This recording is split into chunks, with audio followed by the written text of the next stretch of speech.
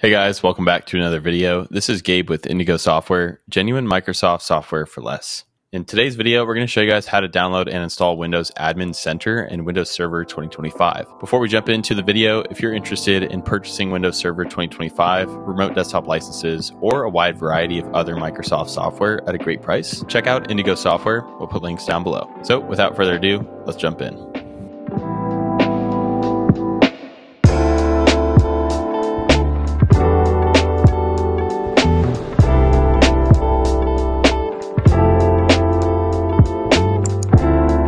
Right, so I'm on my licensed copy of Windows Server 2025, and I'm running this on a Hyper-V virtual machine. So we're going to install Windows Admin Center directly to this server. All right, so the first thing I'll do is I'll just go to Google, and on Google, we're going to type in Windows Admin Center. It'll be the first link at the top. We can go ahead and click that. Again, just make sure it's the Microsoft.com. We'll put the link down below for you guys as well. And here we can click Download Windows Admin Center.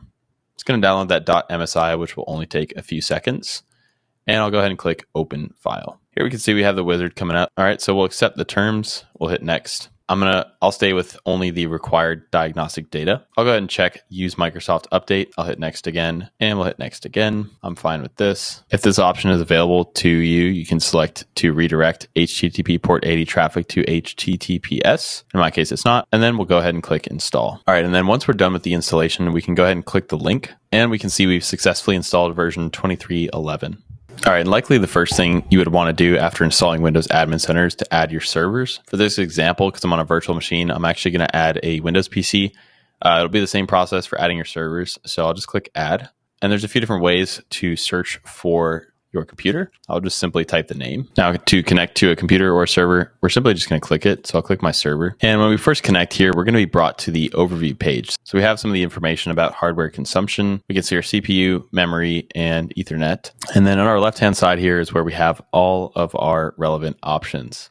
So we've got the Azure services, certificates, devices, events, firewall, and more. All right, guys, that's going to do it for today's video. If you have any questions about any parts of that process, drop those in the comments section below, and we'll get back to you as soon as possible. Again, if you're interested in genuine Microsoft software at a great price, check out Indigo Software. We'll put links down below. We strongly encourage any specific video topic ideas that you may have. And lastly, a like and subscribe would be greatly appreciated as it helps to support the channel. Thanks again for watching. We'll see you guys next time.